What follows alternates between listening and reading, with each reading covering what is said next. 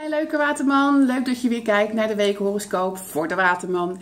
Dit keer voor week 2, 2018, dat is van 8 januari tot en met 14 januari.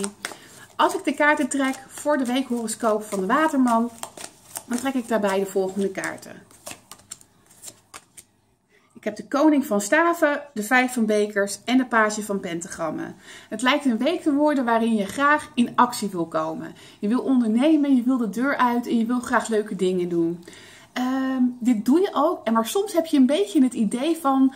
Oh jee, doe ik nu wel de dingen die ik moet doen of doe ik alleen maar de dingen die ik leuk vind?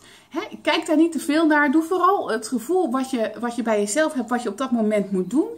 En trek je ook eens terug om een leuk boek te lezen of eens even wat tijd aan jezelf te besteden. Niet alles hoeft per se een goede reden te hebben. Hè? Soms mag je ook gewoon wat plezier hebben als je andere dingen maar niet laat versloffen. Dit was weer de korte week voor de Waterman. Ik hoor graag wat je ervan gevonden hebt en ik zie je natuurlijk ook graag volgende week weer terug. Oké, fijne week!